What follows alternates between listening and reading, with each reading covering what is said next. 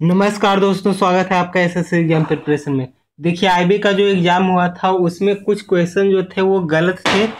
या तो क्वेश्चन गलत थे या फिर उनके ऑप्शंस गलत थे। तो इसके रिगार्डिंग आईबी ने एक न्यूज़ एक इंपॉर्टेंट न्यूज़ यानी कि एक नोटिस जारी किया है अपने साइट पर। जब आप आईबी के साइट पर जाओगे, जहाँ से आपने फॉर्म फिल किया था तो होम पेज पर जाओगे तो आपको इस तरह का एक न्यूज़ मिलेगा, जो कि वार्निंग के जस्ट ऊपर रहेगा। इसमें क्लियरली उन्होंने लिखा है all candidates who appeared in ACIO 2 exam exam tier 1 held on 15 October 2017 are hereby informed due to printing error in options of question number 2 24 25 and 78 this question will not be evaluated and the candidate will be shortlisted for next level.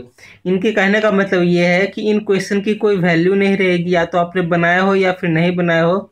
जब marking की जाएगी तो इन question की कोई value नहीं रहेगी और next जो लेवल में जो कैंडिडेट क्वालिफाइंग होंगे, ये वो वो इन क्वेश्चन के बिना क्वालिफाई होंगे। यानी कि अब आपका जो हंड्रेड क्वेश्चन का जो हंड्रेड मार्क्स का जो पेपर था, वो नाइन्टी सिक्स मार्क्स का मार्क्स का पेपर रह गया और इन, इसमें आपने कुछ भी किया हो, ना तो गलती को जोड़ा जाएगा, ना ही सही को जोड़ा जाएगा और इसके बिना कैंडिडेट क्वालिफाई होंगे। यानी कि इसका मतलब ये हुआ कि आई है जो कि अपनी गलती वहाँ, यहाँ पर मानी है कि हाँ ठीक है, क्वेश्चन में ऑप्शन में इरर थे।